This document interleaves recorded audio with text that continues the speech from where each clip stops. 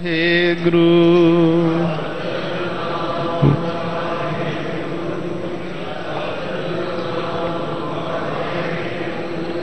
ਦੀਨਨ ਕੀ ਪ੍ਰਤਪਾਲ ਕਰੇ ਨਿਤ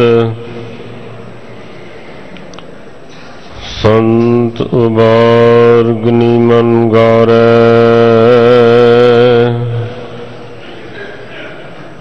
ਪਸ਼ ਪਸ਼ੂ ਨਗ ਨਾਗ ਨਰਾਧਪ, ਸਰਬ ਸਮੈ ਸਭ ਕੋ ਪ੍ਰਤਪਾਰੈ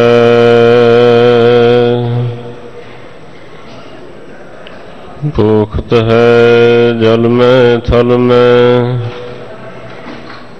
ਪਲ ਮੈਂ, ਕਲ ਕੀ ਨਹੀਂ ਕਰਮ ਵਿਚਾਰੈ।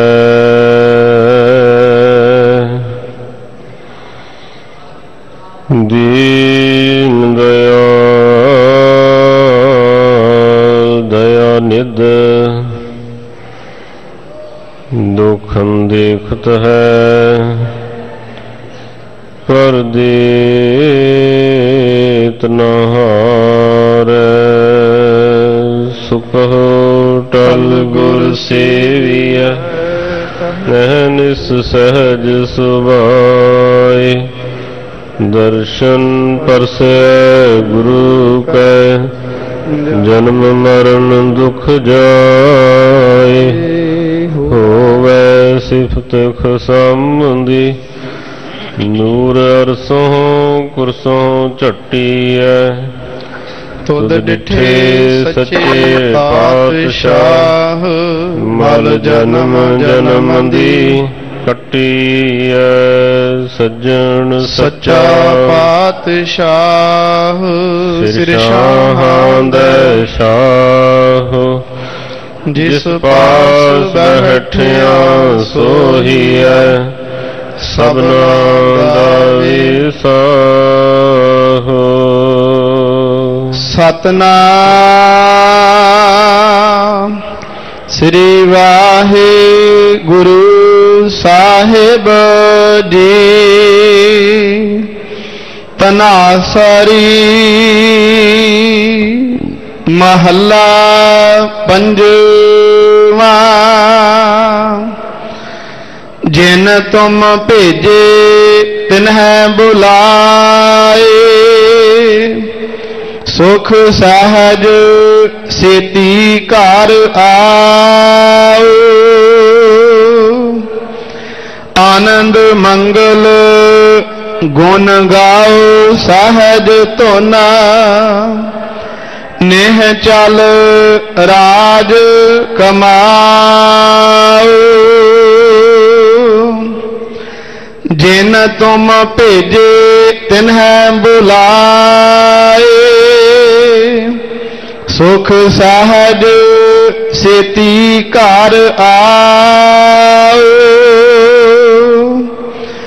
ਆਨੰਦ ਮੰਗਲ ਗੁਣ ਗਾਓ ਸਹਜ ਧੋਨਾ। ਨੇਹ ਚਲ ਰਾਜ ਕਮਾਓ। ਤੁਮ ਘਰ ਆਵੋ ਮੇਰੇ ਮੀਤ। ਤੁਮਰੇ ਦੁਖੀ ਹਰ ਆਪ ਨਿਵਾਰੇ। ਆਪਦਾ ਭਈ ਬਤੀਤ ਰਹਾਉ। ਪ੍ਰਗਟ ਕੀਨੇ ਪ੍ਰਭ ਕਰਨੇ ਹਾਰੇ। ਨਾਸਨ ਭਾਜਨ ਥਾਕੇ। ਘਰ ਮੰਗਲ ਵਾਜਹ ਨਿਤ ਵਾਜੇ ਆਪਨੇ ਖਸਮ ਨਿਵਾਜੇ। ਆਸ ਥਿਰ ਰਹੋ, ਡੋਲੋ ਮਤ ਕਬਹੂ ਗੁਰ ਕੈ ਬਚਨ ਆਧਾਰ। ਜੈ ਜੈਕਾਰ ਸਗਲ ਭੂ ਮੰਡਲ ਮੁਖ ਉਜਲ ਦਰਬਾਰ। ਜਿਨ ਕੇ ਜੀਉ ਤਿਨਹੀ ਫੇਰੇ, ਆਪੇ ਭਇਆ ਸਹਾਈ। ਆਚਰਜ ਕੀਆ ਕਰਣ ਹਾਰੈ। ਨਾਨਕ ਸੱਚ ਵਡਿਆਈ। ਜਿਨ ਕੇ ਜੀਅ ਨਹੀਂ ਫੇਰੇ,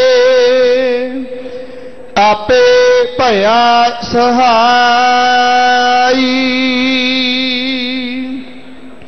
ਆਚਰਜ ਕੀਆ ਕਰਣ ਹਾਰੈ। ਨਾਨਕ ਸੱਚ ਵਡਿਆਈ।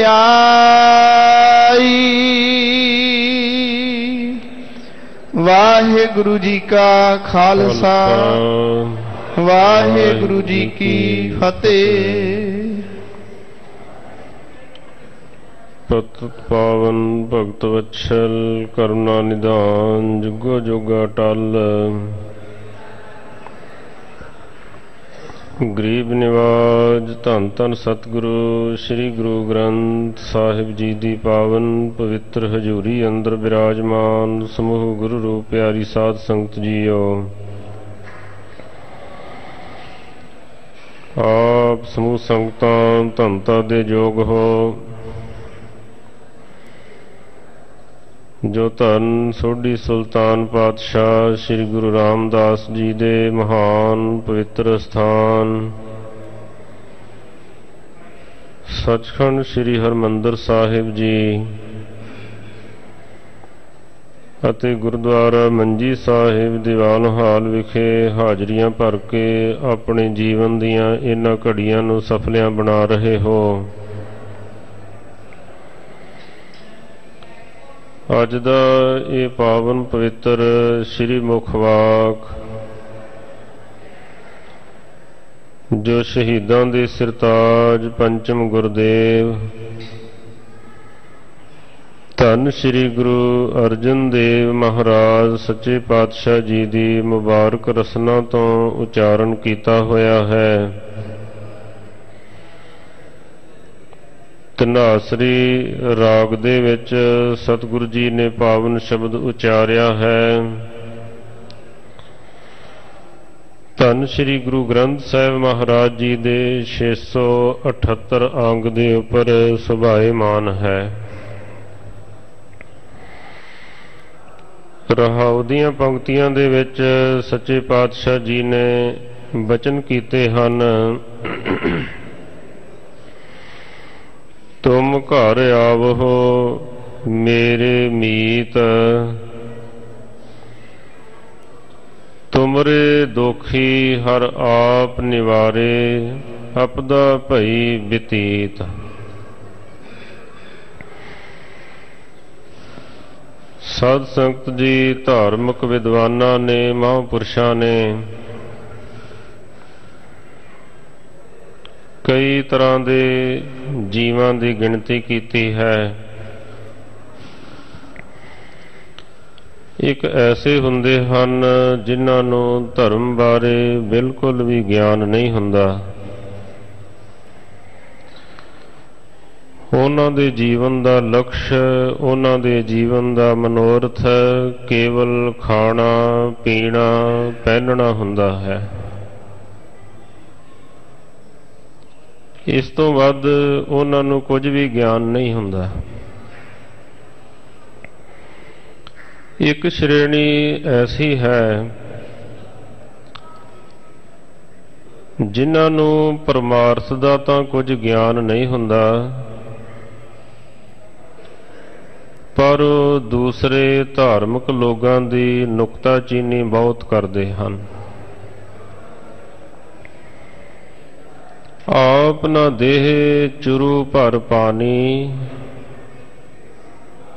ਤਿਹ ਨਿੰਦੇ ਜੇ ਗੰਗਾ ਆਨੀ। ਮਾਨਯੋਗ ਮਸਕੀਨ ਸਾਹਿਬ ਜੀ ਨੂੰ ਕਿਸੇ ਪ੍ਰੇਮੀ ਨੇ ਪੁੱਛਿਆ ਸੀ ਕਿ ਮਸਕੀਨ ਜੀ, ਕੌਮ ਦੀ ਚੜ੍ਹਦੀ ਕਲਾ ਕਿਵੇਂ ਹੋਵੇ, ਪੰਥ ਦੀ ਚੜ੍ਹਦੀ ਕਲਾ ਕਿਵੇਂ ਹੋਵੇ? ਮਸਕੀਨ ਸਾਹਿਬ ਜੀ ਆਖਣ ਲੱਗੇ ਕਿ ਗੁਰਮੁਖਾ ਤੂੰ ਪਹਿਲਾਂ ਆਪਣੀ ਚੜ੍ਹਦੀ ਕਲਾ ਤਾਂ ਕਰ ਲੈ, ਕੌਮ ਦੀ ਬਾਅਦ ਦੇ ਵਿੱਚ ਗੱਲ ਕਰੀ, ਪੰਥ ਦੀ ਬਾਅਦ ਦੇ ਵਿੱਚ ਗੱਲ ਕਰੀ। ਨਾ ਤੂੰ ਸਾਬਤ ਸੂਰਤ ਹੈ, ਨਾ ਤੂੰ ਅੰਮ੍ਰਿਤ ਛਕਿਆ ਹੋਇਆ ਹੈ, ਨਾ ਤੂੰ ਪੰਜ ਬਾਣੀਆਂ ਦਾ ਨਿਤ ਨੇਮੀ ਹੈ। ਨਾ ਤੂੰ ਸੰਗਤ ਕਰਦਾ ਹੈ, ਨਾ ਤੂੰ ਅੰਮ੍ਰਿਤ ਵੇਲੇ ਉੱਠਦਾ ਹੈ ਗੱਲਾਂ ਤੋਂ ਕੌਮ ਦੀ ਚੜ੍ਹਦੀ ਕਲਾ ਦੀਆਂ ਕਰ ਰਿਹਾ ਹੈ, ਪੰਥ ਦੀ ਚੜ੍ਹਦੀ ਕਲਾ ਦੀਆਂ ਕਰ ਰਿਹਾ ਹੈ। ਕਿਉਂਕਿ ਰਿਵਾਜ ਬਣ ਗਿਆ ਹੈ ਕਿ ਦੂਸਰੇ ਦੇ ਔਗਣ ਫਰੋਲਣੇ, ਆਪਣੇ ਵੱਲ ਨਹੀਂ ਝਾਤ ਮਾਰਨੀ। ਧਾਰਮਿਕ ਜਗਤ ਕਿੱਥੋਂ ਸ਼ੁਰੂ ਹੁੰਦਾ ਹੈ, ਜਿੱਥੇ ਸਾਧ ਸੰਗਤ ਜੀ ਜਗਿਆਸਾ ਆ ਜਾਂਦੀ ਹੈ। ਜਿਵੇਂ ਆਪਾਂ ਸਾਰੇ ਸਤਿਗੁਰਾਂ ਦੇ ਘਰ ਦੇ ਵਿੱਚ ਚੱਲ ਕੇ ਆਉਨੇ ਆ, ਜਾਂ ਆਪਣੇ ਆਪਣੇ ਘਰਾਂ ਦੇ ਵਿੱਚ ਬੈਠ ਕੇ ਕਥਾ ਕੀਰਤਨ ਸਰਵਣ ਕਰਦੇ ਹਾਂ, ਇਹ ਜਗਿਆਸਾ ਪੈਦਾ ਹੋ ਗਈ। ਜਗਿਆਸੂ ਥੋੜਾ ਬਹੁਤਾ ਸਿਮਰਨ ਭਜਨ ਕਰਨ ਲੱਗ ਪੈਂਦਾ ਹੈ ਥੋੜੀ ਬਹੁਤੀ ਬਾਣੀ ਪੜਨ ਲੱਗ ਪੈਂਦਾ ਹੈ ਥੋੜਾ ਬਹੁਤਾ ਅਭਿਆਸ ਕਰਨ ਲੱਗ ਪੈਂਦਾ ਹੈ। ਬਹੁਤੀ ਉਸ ਦੀ ਗਹਿਰਾਈ ਨਹੀਂ ਹੁੰਦੀ। ਚਲੋ, ਇਹ ਹੈ ਕਿ ਉਹ ਧਰਮ ਦੇ ਰਸਤੇ ਦੇ ਉੱਪਰ, ਪਰਮਾਰਥ ਦੇ ਰਸਤੇ ਦੇ ਉੱਪਰ ਚੱਲ ਪੈਂਦਾ ਹੈ। ਇੱਕ ਸ਼੍ਰੇਣੀ ਐਸੀ ਹੈ ਜਿਸ ਨੂੰ ਧਾਰਮਿਕ ਵਿਦਵਾਨਾਂ ਨੇ ਸਾਧੂ ਸ਼੍ਰੇਣੀ ਆਖਿਆ ਹੈ।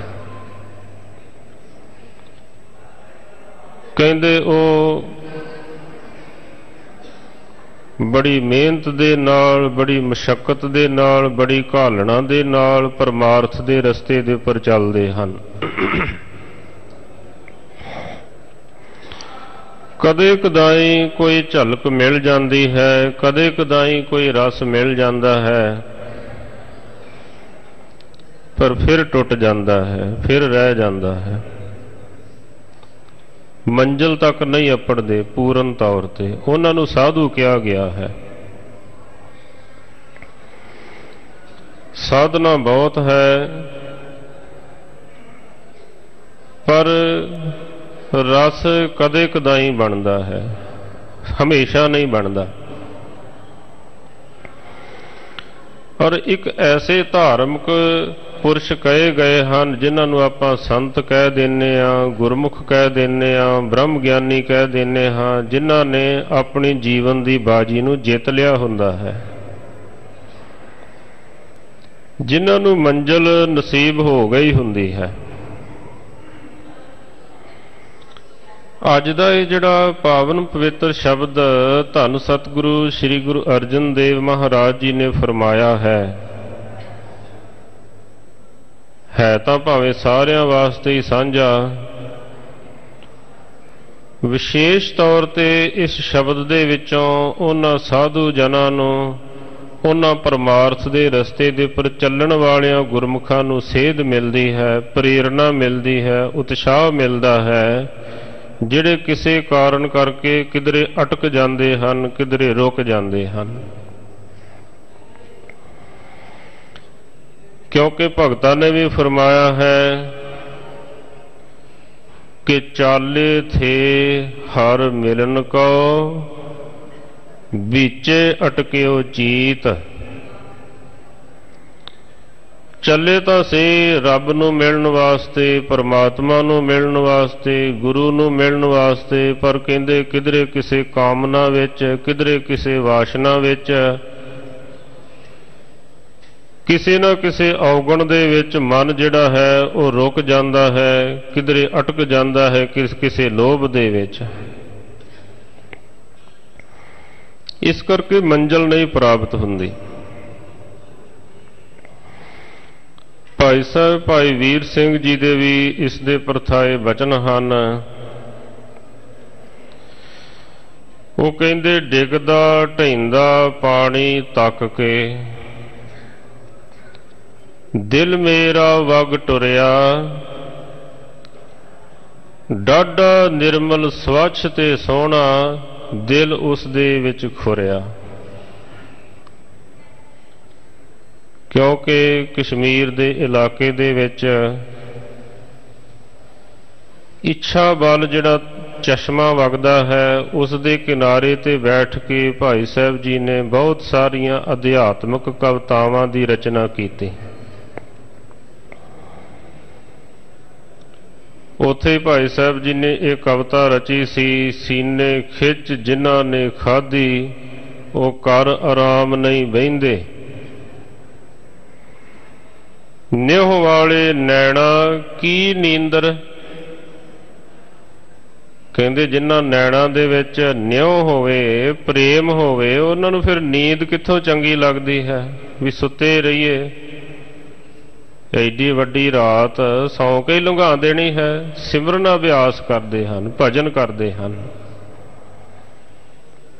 ਬੜੇ ਬੜੇ ਸਾਧਨ ਉਹਨਾਂ ਦੇ ਕੋਲ ਹੁੰਦੇ ਹਨ, ਕਦੇ ਬੈਠ ਕੇ ਜਪ ਕਰਨ ਲੱਗ ਪਏ, ਕਦੇ ਉੱਠ ਕੇ ਕਰਨ ਲੱਗ ਪਏ, ਕਿਧਰੇ ਫਿਰ ਤੁਰ ਕੇ ਕਰਨ ਲੱਗ ਪਏ, ਛੱਡਦੇ ਨਹੀਂ ਹਨ, ਲੱਗੇ ਰਹਿੰਦੇ ਹਨ।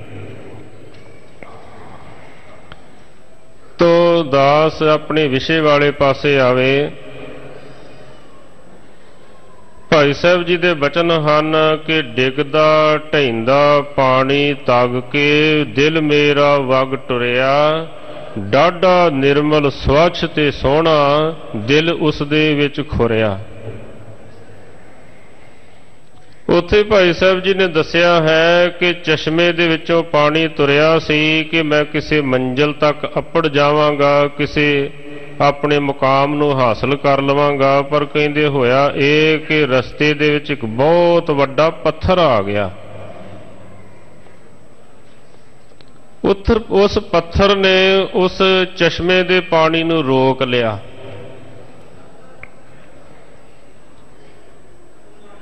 ਕਹਿੰਦੇ, ਜਦ ਉਹ ਪੱਥਰ ਦੇ ਵਿੱਚ ਜਾ ਕੇ ਵੱਜਿਆ, ਫਿਰ ਪਿੱਛੇ ਨੂੰ ਮੁੜ ਪਿਆ।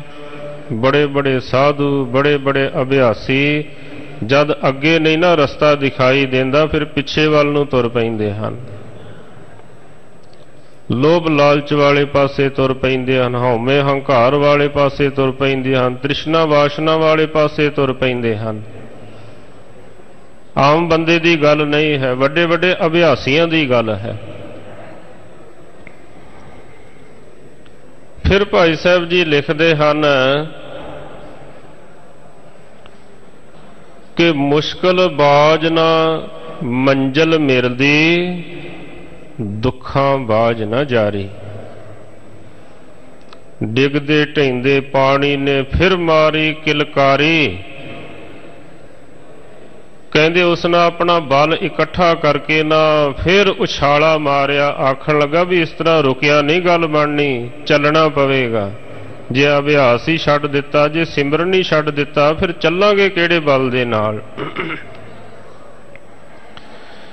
ਡਿੱਗਦੇ ਢਿੰਦੇ ਪਾਣੀ ਨੇ, ਜਾਂ ਮਾਰੇ ਕਿਲਕਾਰੇ, ਮੁਸ਼ਕਲ ਬਾਜ ਨਾ ਮੰਜ਼ਲ ਮਿਲਦੀ, ਦੁੱਖਾਂ ਬਾਜ ਨਾ ਜਾਰੀ।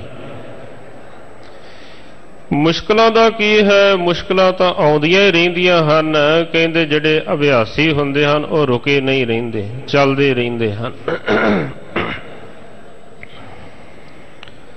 ਧਾਰਮਿਕ ਵਿਦਵਾਨ, ਮਹਾਂਪੁਰਸ਼ ਇਹ ਮੰਨਦੇ ਹਨ, ਅਗਰ ਕੋਈ ਸਧਾਰਨ ਰੁਕਾਵਟ ਹੋਵੇ, ਕੋਈ ਸਧਾਰਨ ਮੁਸ਼ਕਲ ਹੋਵੇ ਥੋੜੇ ਬਹੁਤੇ ਜਪ ਤਪ ਦੇ ਨਾਲ, ਥੋੜੇ ਬਹੁਤੇ ਸਿਮਰਨ ਦੇ ਨਾਲ, ਥੋੜੀ ਬਹੁਤੀ ਸੰਗਤ ਕਰਨ ਦੇ ਨਾਲ ਉਹ ਰੁਕਾਵਟਾਂ ਦੂਰ ਹੋ ਜਾਂਦੀਆਂ ਹਨ, ਨਿਕਲ ਜਾਂਦੀਆਂ ਹਨ। ਪਰ ਕਹਿੰਦੇ ਕਈ ਵਾਰੀ ਬਹੁਤ ਵੱਡੀਆਂ ਵੱਡੀਆਂ ਰੁਕਾਵਟਾਂ ਆ ਜਾਂਦੀਆਂ ਹਨ, ਛੋਟੀਆਂ ਨਹੀਂ। ਉਹਨਾਂ ਰੁਕਾਵਟਾਂ ਨੂੰ ਕਹਿੰਦੇ ਫਿਰ ਗੁਰੂ ਹੀ ਦੂਰ ਕਰ ਸਕਦਾ ਹੈ, ਪਰਮਾਤਮਾ ਹੀ ਦੂਰ ਕਰ ਸਕਦਾ ਹੈ, ਬੰਦੇ ਦੇ ਵੱਸ ਦੀ ਗੱਲ ਨਹੀਂ ਰਹਿ ਜਾਂਦੀ। ਫਿਰ ਇਸ ਦੇ ਕੋਲ ਕੇਵਲ ਤੇ ਕੇਵਲ ਅਰਦਾਸ ਹੀ ਰਹਿ ਜਾਂਦੀ ਹੈ। ਸਾਰੇ ਸੰਤਾਂ ਨੇ, ਸਾਰੇ ਭਗਤਾਂ ਨੇ ਇਸ ਤਰ੍ਹਾਂ ਦੀਆਂ ਅਰਦਾਸਾਂ ਕੀਤੀਆਂ ਹਨ। ਲੋਭ ਲਹਿਰ ਅਤ ਨੀਜਰ ਬਾਜੈ ਕਾਇਆ ਡੂਬੇ ਕੇਸਵਾ, ਸੰਸਾਰ ਸਮੁੰਦੇ, ਤਾਰ ਗੋਬਿੰਦੇ, ਤਾਰ ਲੈ ਬਾਪ ਬੀਠਲਾ। ਕਹਿੰਦੇ ਉਸ ਰੁਕਾਵਟ ਨੂੰ ਕੇਵਲ ਗੁਰੂ ਦੂਰ ਕਰ ਸਕਦਾ ਹੈ। ਅੱਜ ਦਾ ਇਹ ਜਿਹੜਾ ਪਾਵਨ ਪਵਿੱਤਰ ਫਰਮਾਨ ਹੈ, ਸਤਿਗੁਰੂ ਅਰਜਨ ਦੇਵ ਮਹਾਰਾਜ ਸੱਚੇ ਪਾਤਸ਼ਾਹ ਜੀ ਸਮਝਾ ਰਹੇ ਹਨ। ਇੱਕ ਅਭਿਆਸੀ ਨੂੰ, ਇੱਕ ਸਾਧੂ ਨੂੰ ਕਿ ਤੁਸੀਂ ਰੁਕੋ ਨਾ, ਕੋਸ਼ਿਸ਼ ਕਰੋ, ਹਿੰਮਤ ਜੁਟਾਓ। ਤੁਸੀਂ ਆਪਣੇ ਨਿੱਜ ਘਰ ਦੇ ਵਿੱਚ ਇੱਥੇ ਘਰ ਤੋਂ ਭਾਵ ਸੱਚਖੰਡ ਦਰਬਾਰ ਕਿਹਾ ਗਿਆ ਹੈ। ਇੱਕ ਤਾਂ ਹੈ ਨਾ ਕਿ ਸੰਸਾਰ ਦੇ ਵਿੱਚ ਆਉਣਾ ਅਤੇ ਸੰਸਾਰ ਦੇ ਵਿੱਚੋਂ ਜਾਣਾ। ਉਹ ਤਾਂ ਸਾਰਿਆਂ ਦਾ ਹੀ ਚੱਲਦਾ ਰਹਿੰਦਾ ਹੈ। ਸਾਰੇ ਆਉਂਦੇ ਰਹਿੰਦੇ ਹਨ, ਸਾਰੇ ਜਾਂਦੇ ਰਹਿੰਦੇ ਹਨ।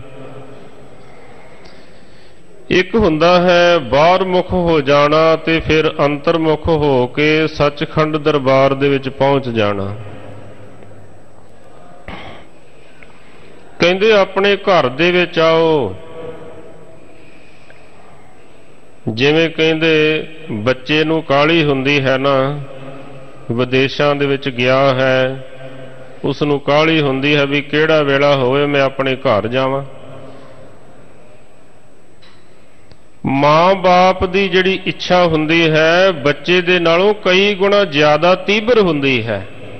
ਉਡੀਕਦੇ ਹਨ। ਕਿਹੜਾ ਵੇਲਾ ਹੋਵੇ, ਸਾਡਾ ਬੱਚਾ ਜਿਹੜਾ ਹੈ ਨਾ, ਉਹ ਘਰ ਦੇ ਵਿੱਚ ਆਵੇ।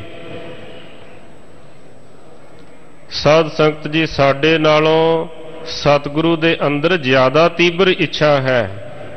ਸਾਡੇ ਨਾਲੋਂ ਪ੍ਰਮਾਤਮਾ ਦੇ ਅੰਦਰ ਜ਼ਿਆਦਾ ਤੀਬਰ ਇੱਛਾ ਹੈ ਕਿ ਇਹ ਆਪਣੇ ਨਿਜ ਘਰ ਦੇ ਵਿੱਚ ਆਉਣ, ਸੱਚਖੰਡ ਦਰਬਾਰ ਦੇ ਵਿੱਚ ਆਉਣ, ਉਡੀਕਦੇ ਰਹਿੰਦੇ ਹਨ। ਤਾਂ ਹੀ ਭਾਈ ਸਾਹਿਬ, ਭਾਈ ਗੁਰਦਾਸ ਸਾਹਿਬ ਜੀ ਨੇ ਫਰਮਾਇਆ ਹੈ, ਚਰਨ ਸ਼ਰਨ ਗੁਰ ਏਕ ਪੈਂਡਾ ਜਾਏ ਚੱਲ। ਸਤਿਗੁਰੂ ਕੋਟ ਪੈਂਡਾ ਆਗੇ ਹੋਏ ਲੇਤ ਹੈ। ਕਹਿੰਦੇ ਤੁਸੀਂ ਇੱਕ ਕਦਮ ਪੁੱਟੋ, ਸਤਿਗੁਰ ਤੁਹਾਡੇ ਵੱਲ ਕਰੋੜਾਂ ਕਦਮ ਚੱਲ ਕੇ ਆਉਣਗੇ, ਤੁਹਾਨੂੰ ਲੈਣ ਵਾਸਤੇ। ਬੜੇ ਕਾਲੇ ਹਨ ਕਿ ਆਪਣੇ ਅਸਲੀ ਘਰ ਵੱਲ ਨੂੰ ਤੁਰਨ, ਅਸਲੀ ਮੰਜ਼ਿਲ ਵੱਲ ਨੂੰ ਤੁਰਨ। ਤੁਹਾਡੇ ਨਾਲੋਂ ਕਈ ਗੁਣਾ ਜ਼ਿਆਦਾ ਕਾਲੇ ਹਨ। ਪਰ ਸਚਾਈ ਇਹ ਹੈ ਕਿ ਆਪਾਂ ਇੱਕ ਕਦਮ ਵੀ ਤੁਰਨ ਵਾਸਤੇ ਤਿਆਰ ਨਹੀਂ। ਚਰਨ ਸ਼ਰਨ ਗੁਰੇਕ ਪੈਂਡਾ ਜਾਏ ਚੱਲ, ਸਤਿਗੁਰੂ ਕੋਟ ਪੈਂਡਾ ਆਗੈ ਹੋਏ ਲੇਤ ਹੈ। ਏਕ ਬਾਰ ਸਤਿਗੁਰੂ ਮੰਤਰ ਸਿਮਰਨ ਮਾਤਰ, ਸਿਮਰਨ ਤਾਹੀ ਬਾਰੰਬਾਰ ਗੁਰ ਹੇਤ ਹੈ। ਕਹਿੰਦੇ ਤੁਸੀਂ ਗੁਰੂ ਨੂੰ ਇੱਕ ਵਾਰੀ ਸਿਮਰੋ, ਸਤਿਗੁਰ ਤੁਹਾਨੂੰ ਕਰੋੜਾਂ ਵਾਰੀ ਸਿਮਰਨਗੇ, ਤੁਹਾਨੂੰ ਕਰੋੜਾਂ ਵਾਰੀ ਯਾਦ ਕਰਨਗੇ। ਭਾਵਨੀ ਭਗਤ ਭਾਏ, ਕੌਡੀ ਅਗਰ ਭਾਗ ਰਾਖੈ, ਤਾਹੇ ਗੁਰ ਸਰਬ ਨਿਧਾਨ ਦਾਨ ਦੇਤ ਹੈ, ਸਤਿਗੁਰੂ ਦਇਆ ਨਿਧ, ਮਹਿਮਾ ਅਗਾਧ ਬੋਧ। ਨਮੋ ਨਮੋ ਨਮੋ ਨਮੋ ਨੇਤ ਨੇਤ ਨੇਤ ਹੈ। ਵੱਡੇ ਵੱਡੇ ਅਭਿਆਸੀਆਂ ਦਾ ਮਨ ਅਟਕ ਜਾਂਦਾ ਹੈ, ਵੱਡੇ ਵੱਡੇ ਸਾਧੂਆਂ ਦਾ ਮਨ ਰੁਕ ਜਾਂਦਾ ਹੈ। ਧੰਨ ਦੀਨ ਦੁਨੀ ਦੇ ਮਾਲਕ ਸ੍ਰੀ ਗੁਰੂ ਨਾਨਕ ਦੇਵ ਮਹਾਰਾਜ, ਸੱਚੇ ਪਾਤਸ਼ਾਹ ਜੀ ਦੇ ਜੀਵਨ ਦੇ ਵਿੱਚ ਇੱਕ ਘਟਨਾ ਹੈ। ਮਹਾਰਾਜ ਸੱਚੇ ਪਾਤਸ਼ਾਹ ਇੱਕ ਰਾਜੇ ਦੇ ਕੋਲ ਗਏ, ਜਿਸ ਦਾ ਨਾਮ ਹੈ ਕਵਲ ਨੈਣ। 17 ਰਾਜੇ ਉਸ ਦੇ ਅੱਗੇ ਝੁਕਦੇ ਸਨ। ਐਡਾ ਵੱਡਾ ਰਾਜਾ ਸੀ। ਸਾਧ ਸੰਗਤ ਜੀ, ਮਹਾਰਾਜ ਸੱਚੇ ਪਾਤਸ਼ਾਹ ਜਦ ਉਸ ਦੇ ਕੋਲ ਗਏ ਕਿਰਪਾ ਭਰੀ ਦ੍ਰਿਸ਼ਟੀ ਪਾਈ ਨਾ ਉਸ ਨੂੰ ਸਾਰਾ ਆਪਣਾ ਪੂਰਬਲਾ ਜਨਮ ਜਿਹੜਾ ਸੀ ਨਾ, ਉਹ ਯਾਦ ਆ ਗਿਆ। ਕਈ ਵਾਰੀ ਜਿਹੜੇ ਗੁਰਮੁਖ ਅਭਿਆਸ ਕਰਨ ਵਾਲੇ ਜਾਂ ਕੋਈ ਵੀ ਜਿਗਿਆਸੂ ਜਨ ਹਨ, ਐਡੀਆਂ ਵੱਡੀਆਂ ਵੱਡੀਆਂ ਦਾਤਾਂ ਮੰਗ ਲੈਂਦੇ ਹਨ, ਜਿਹੜੀਆਂ ਇਸ ਜਨਮ ਦੇ ਵਿੱਚ ਸੰਭਵ ਹੋਣੀਆਂ ਮੁਸ਼ਕਲ ਹੋ ਜਾਂਦੀਆਂ ਹਨ। ਜੀਵਨ ਛੋਟਾ ਹੈ, ਦਾਤਾਂ ਬਹੁਤ ਵੱਡੀਆਂ ਮੰਗ ਲਈਆਂ ਜਾਂਦੀਆਂ ਹਨ। ਉਸ ਵਾਸਤੇ ਫਿਰ ਚੋਲਾ ਬਦਲਣਾ ਪੈਂਦਾ ਹੈ, ਉਸ ਵਾਸਤੇ ਇੱਕ ਫਿਓਰ ਸਰੀਰ ਫੇਰ ਧਾਰਨ ਕਰਨਾ ਪੈਂਦਾ ਹੈ, ਫੇਰ ਉਹ ਕਾਮਨਾਵਾਂ ਦੀ ਪੂਰਤੀ ਹੁੰਦੀ ਹੈ। ਮਹਾਰਾਜ ਸੱਚੇ ਪਾਤਸ਼ਾਹ ਜੀ ਨੇ ਕਵਲ ਨੈਣ ਦੇ ਉੱਪਰ ਕਿਰਪਾ ਭਰੀ ਦ੍ਰਿਸ਼ਟੀ ਪਾਈ ਉਸ ਨੂੰ ਆਪਣਾ ਸਾਰਾ ਪੂਰਬਲਾ ਜਨਮ ਯਾਦ ਆ ਗਿਆ। ਭਾਈ ਸੰਤੋਖ ਸਿੰਘ ਜੀ ਨੇ ਲਿਖਿਆ ਹੈ। ਇਹ ਰਾਜੇ ਜਨਕ ਦਾ ਸੇਵਕ ਸੀ, ਜਿਸ ਦਾ ਨਾਮ ਸੀ ਪਹਿਲਾ ਸਫਾ ਚੰਦ। ਰਾਜਾ ਜਨਕ ਬ੍ਰਹਮ ਗਿਆਨੀ ਹੋਏ ਹਨ, ਵਿਦੇਹੀ ਹੋਏ ਹਨ, ਪੂਰਨ ਪੁਰਸ਼ ਹੋਏ ਹਨ। ਕਿਉਂਕਿ ਭਾਈ ਗੁਰਦਾਸ ਸਾਹਿਬ ਜੀ ਨੇ ਲਿਖਿਆ ਹੈ ਕਿ ਭਗਤ ਵੱਡਾ ਰਾਜਾ ਜਨਕ ਹੈ, ਗੁਰਮੁਖ ਮਾਇਆ ਵਿੱਚ ਉਦਾਸੀ। ਬੜੀ ਮਾਇਆ ਦਾ ਪਸਾਰਾ ਸੀ, ਪਰ ਹੈਨ ਬਿਲਕੁਲ ਨਿਰਲੇਪ, ਲਿਪਾਏ ਮਾਨ ਨਹੀਂ ਸਨ। ਕਿਉਂਕਿ ਜੋ ਸ਼ਬਦ ਦੇ ਨਾਲ ਜੁੜ ਜਾਂਦਾ ਹੈ, ਮਾਇਆ ਦੇ ਪ੍ਰਭਾਵ ਤੋਂ ਉੱਪਰ ਉੱਠ ਜਾਂਦਾ ਹੈ। ਸਿੱਧਾ ਨੇ ਪੁੱਛਿਆ ਸੀ ਨਾ, ਦੁਨੀਆ, ਸਾਗਰ, ਦੁੱਤਰ ਕਹੀਐ ਕਿਉਂ ਕਰ ਪਾਈਐ ਪਾਰੋ? ਮਹਾਰਾਜ, ਐਸਾ ਭਿਆਨਕ ਸਾਗਰ ਹੈ, ਇਨੀਆਂ ਭਿਆਨਕ ਲਹਿਰਾਂ ਹਨ ਇਸ ਦੇ ਵਿੱਚ, ਕਿਵੇਂ ਪਾਰ ਲੰਘਿਆ ਜਾਵੇ? ਚਰਪਟ ਬੋਲੇ ਅਵਦੂ ਨਾਨਕ ਦੇਹੋ ਸੱਚਾ ਵਿਚਾਰੋ। ਮਹਾਰਾਜ ਆਖਣ ਲੱਗੇ, ਜਿਹੜੇ ਸ਼ਬਦ ਦੇ ਨਾਲ ਜੁੜ ਜਾਂਦੇ ਹਨ, ਲਹਿਰਾਂ ਉਹਨਾਂ ਦਾ ਕੁਝ ਨਹੀਂ ਵਿਗਾੜਦੀਆਂ। ਜੈਸੇ ਜਲ ਮੈਂ ਕਮਲ ਨਿਰਾਲ ਮੁਰਗਾਈ ਨੈਸਾਣੇ ਸੁਰਤ ਸ਼ਬਦ ਭਵ ਸਾਗਰ ਤਰੀਐ ਨਾਨਕ ਨਾਮ ਵਖਾਣੇ। ਸ਼ਬਦ ਦੇ ਨਾਲ ਜੁੜੀ ਹੋਈ ਆਤਮਾ ਸੀ, ਪਵਿੱਤਰ ਆਤਮਾ। ਆਪਣੇ ਸੇਵਕ ਨੂੰ ਕਿਸੇ ਵਿਖਮ ਕੰਮ ਕਰਨ ਵਾਸਤੇ ਭੇਜਿਆ ਕਿ ਬਰਫੀਲੀ ਪਹਾੜੀ ਦੇ ਵਿੱਚੋਂ ਜਲ ਲੈ ਕੇ ਆਓ।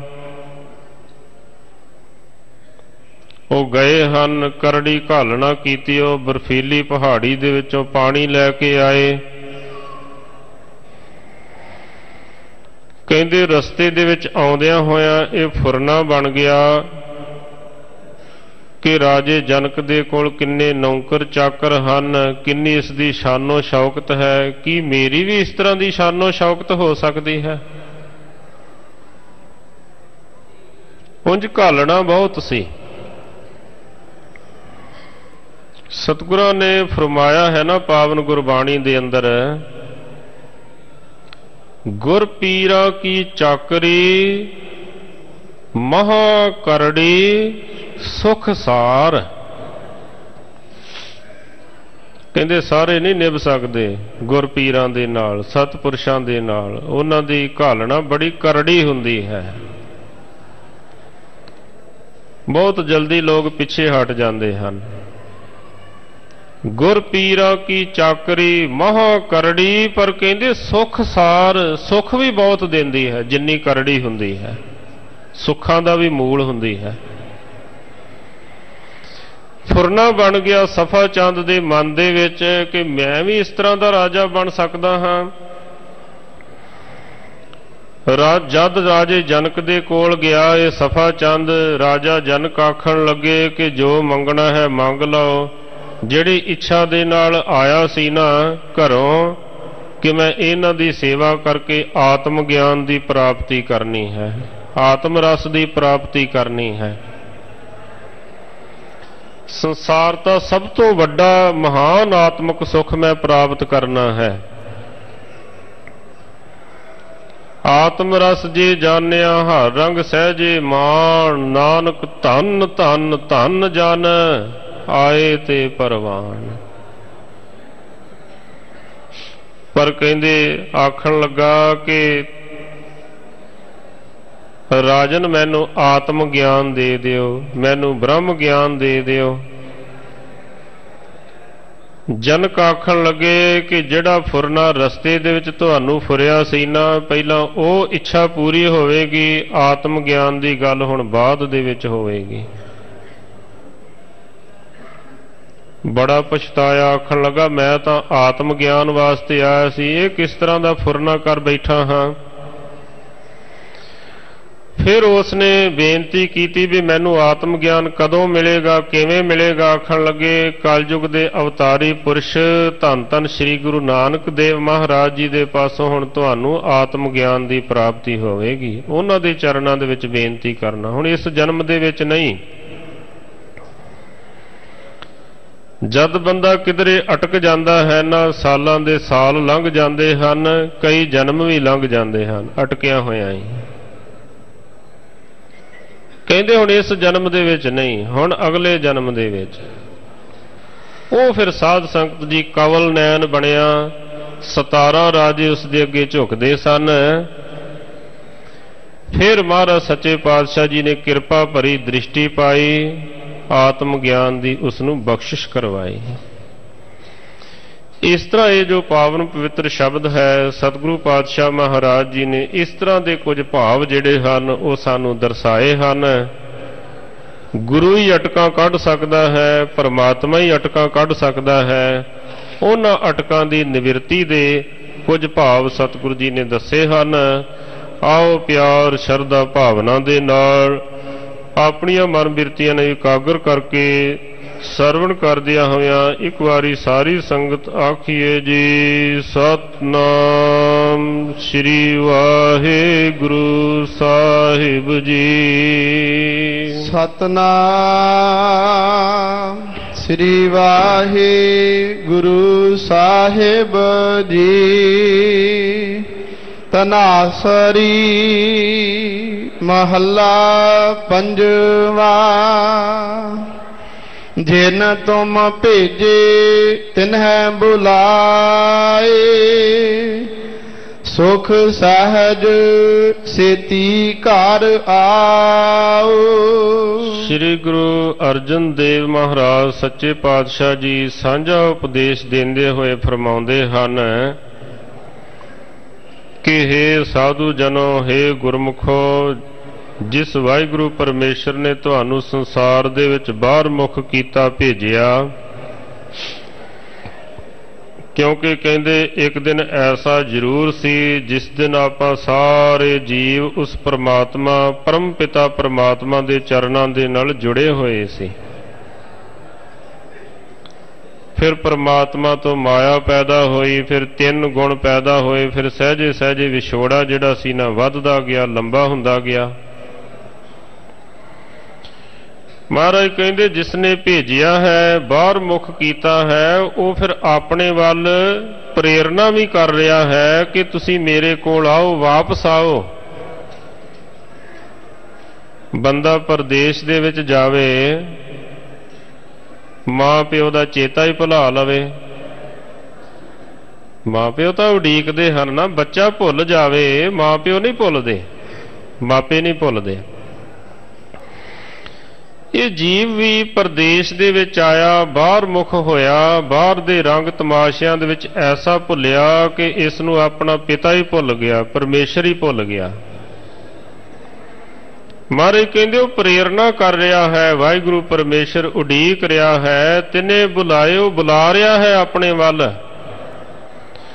ਸੁਖ ਦੇ ਨਾਲ, ਸਹਿਜ ਦੇ ਨਾਲ, ਆਤਮਿਕ ਅਡੋਲਤਾ ਦੇ ਨਾਲ ਆਪਣੇ ਸੱਚਖੰਡ ਘਰ ਦੇ ਵਿੱਚ ਵਾਪਸ ਆਓ। ਆਨੰਦ ਮੰਗਲ ਗੁਣ ਗਾਓ, ਸਹਿਜ ਧੋਨਾ। ਨੇਹ ਚਲ ਰਾਜ ਕਮਾਓ ਕਹਿੰਦੇ, ਆਨੰਦ ਮੰਗਲ ਦੇ ਨਾਲ, ਖੁਸ਼ੀਆਂ ਦੇ ਨਾਲ, ਸਹਿਜ ਦੀ ਧੁਨ ਦੇ ਨਾਲ, ਜਦ ਤੁਸੀਂ ਵਾਪਸ ਆਓਗੇ, ਖੁਸ਼ੀਆਂ ਦੇ ਵਾਜੇ ਵੱਜਣਗੇ। ਕਿਉਂਕਿ ਲੰਬੇ ਸਮੇਂ ਤੋਂ ਬਾਅਦ ਜਦ ਕੋਈ ਵਾਪਸ ਆਉਂਦਾ ਹੈ, ਫਿਰ ਖੁਸ਼ੀਆਂ ਮਨਾਈਆਂ ਜਾਂਦੀਆਂ ਹਨ, ਢੋਲ ਵਜਾਏ ਜਾਂਦੇ ਹਨ, ਵਾਜੇ ਵਜਾਏ ਜਾਂਦੇ ਹਨ ਵੀ ਇੰਨੇ ਲੰਮੇ ਸਮੇਂ ਤੋਂ ਬਾਅਦ ਆਇਆ, ਘਰ ਦੇ ਵਿੱਚ ਆਇਆ। ਕਹਿੰਦੇ, ਇਹ ਗੁਰਮੁਖ ਵੀ, ਜਗਿਆਸੂ ਵੀ ਜਦ ਵਾਪਸ ਆਪਣੇ ਆਤਮਿਕ ਘਰ ਦੇ ਵਿੱਚ ਜਾਂਦਾ ਹੈ, ਸੱਚਖੰਡ ਦਰਬਾਰ ਦੇ ਵਿੱਚ ਜਾਂਦਾ ਹੈ, ਇਸ ਦੇ ਸਵਾਗਤ ਦੇ ਵਿੱਚ ਵੀ ਫਿਰ ਬੜੇ ਵਾਜੇ ਵਜਾਏ ਜਾਂਦੇ ਹਨ। ਵਾਜੇ ਪੰਜ ਸ਼ਬਦ ਤਿਤ ਘਰ ਸੁਭਾਗੈ ਘਰ ਸੁਭਾਗੈ ਸ਼ਬਦ ਵਾਜੇ ਕਲਾ ਜਿਤ ਕਰ ਧਾਰੀਆਂ।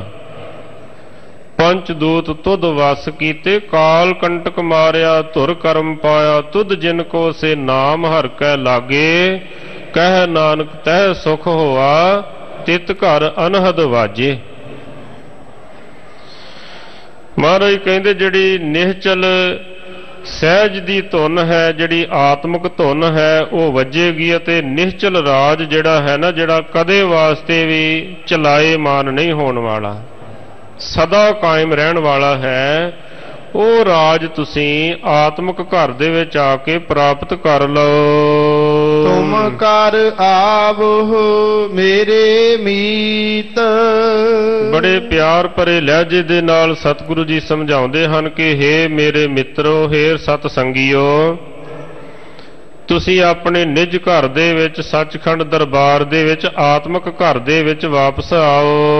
ਤੁਮਰੇ ਦੁਖੀ ਹਰ ਆਪ ਨਿਵਾਰੇ। ਅਪਦਾ ਭਈ ਬੇਤੀਤ। ਤੁਹਾਡੇ ਜਿਹੜੇ ਦੋਖੀ ਹਨ ਜਿਹੜੇ ਦੁੱਖ ਦੇਣ ਵਾਲੇ ਹਨ ਔਗਣ ਹਨ ਉਹ ਵਾਹਿਗੁਰੂ ਨੇ ਆਪ ਹੀ ਨਿਵਰਤ ਕੀਤੇ ਹਨ।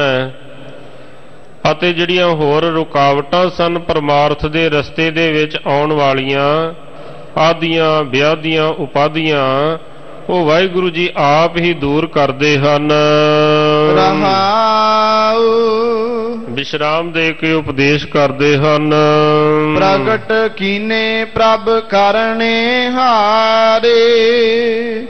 ਨਾਸਨ ਭਾਜਨ ਥਾਕੇ।